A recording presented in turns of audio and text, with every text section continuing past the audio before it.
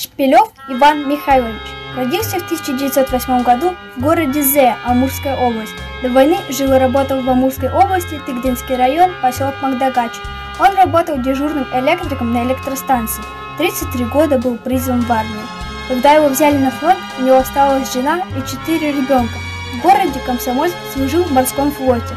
Когда началась война, из всех отправили эшелотом под Сталинград. Тогда он был уже красногвардейцем. Не доезжая до Сталинграда, их разбомбили вражеские самолеты. В 1943 году он попал в госпиталь. После выписки его отправили в город Рязань, где 10 марта 1943 года был убит.